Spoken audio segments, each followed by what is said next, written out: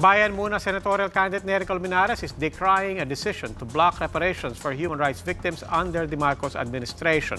Colmenares said the office of the Solicitor General should not stand in the way of human rights reparation payments earmarked from recovered ill-gotten wealth of the Marcoses.